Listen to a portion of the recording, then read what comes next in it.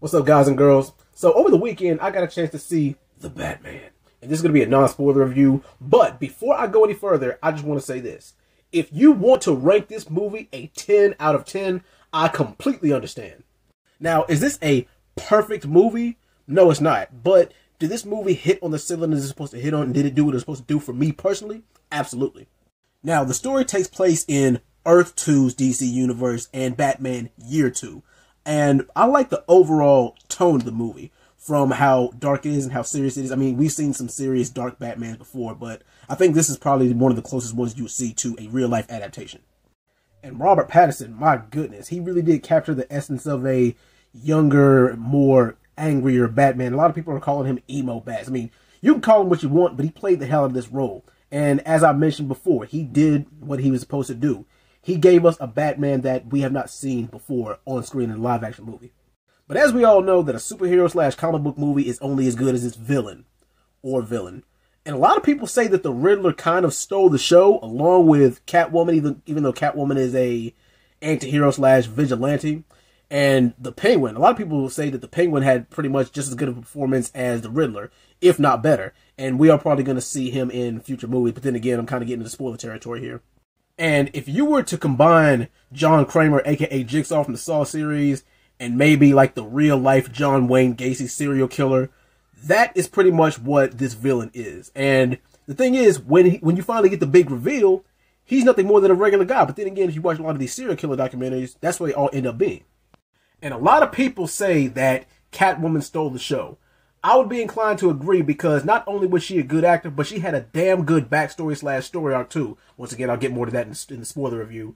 But yes, Zoe Kravitz played the hell out of Catwoman. Probably top three Catwomans to date on screen. And the action scenes and the cinematography. do I even need to say it? This film is shot beautifully, but with the, with the way that they do it, it's all one take. You don't really see any choppy camera angles. You don't really see too many special effects besides the explosion. A lot of this is pretty much just on the fly. And this movie, while there's a lot of action, it's not just a bunch of mindless actions and bad guy fighting and explosions. This movie has a lot of character development, there's a lot of story and a lot of depth. And that is pretty much what's going to keep you hanging on your seat, more so than the action itself. But as far as my overall rating for this movie, the action, I give it a 10. The acting, I'll give it a 10. The story and the plot, give it a 9, 9.5. The special effects, I'll give it a 10. The character development, I'll give it a 9, but we're going to see more. And as far as the overall plot, I will give that probably a 9.5. But anyway, what do you guys think of this movie? Alright guys, this is my spoiler review of The Batman. If you have not seen this movie, you have been warned. Here we go. So the movie starts out on Halloween night, and a series of murders have been taking place in the Gotham City area, and the Riddler is responsible for these murders and kidnappings in the Gotham City area.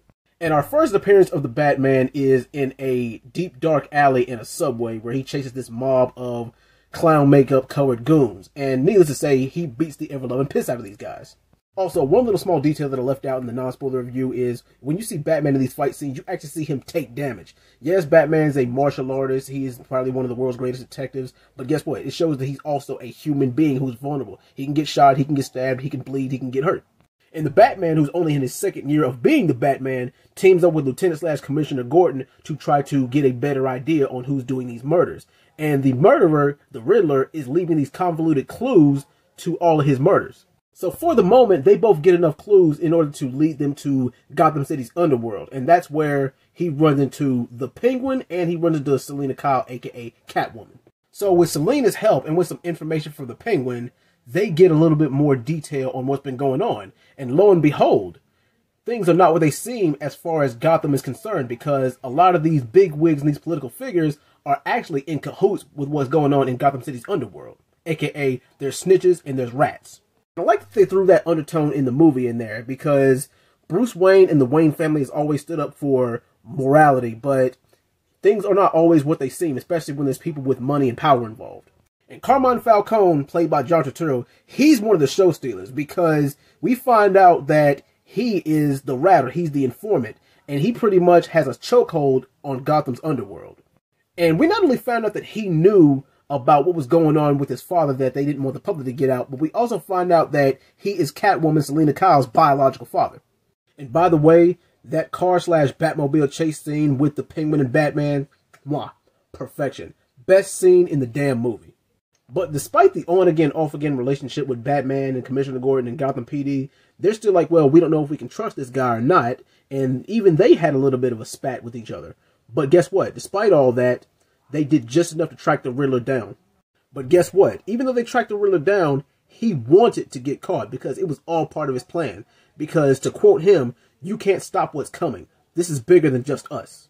And some of you may have seen this in the trailers already, but yes, the Riddler slash Eddie Nashton is smart enough to figure out that Batman and Bruce Wayne are the same person.